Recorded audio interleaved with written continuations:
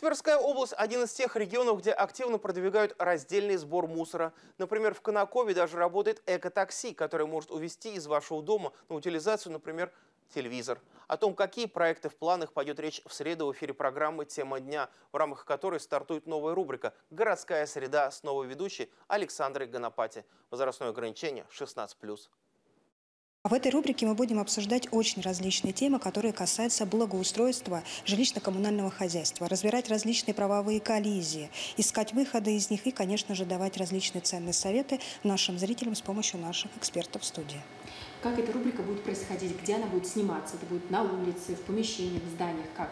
Нет, это будет студийное. Это в формате общения с нашими экспертами в студии непосредственно. Вполне возможно, что у нас будут какие-то сюжеты, репортажи, вот, которые мы будем обсуждать. Угу. А, темы, вы сказали, это благоустройство. То есть да. темы, которые важны, наверное, каждому жителю, да? Чтобы... Безусловно. Это ведь в первую очередь запрос аудитории. Да? Все, что касается жилищно-коммунального хозяйства, а, все моменты благоустройства, благоустройства, да, то есть в этой сфере. Конечно, безусловно. Вы знаете, очень много правовых аспектов, которые люди задают вопросы, как им быть в той или иной ситуации.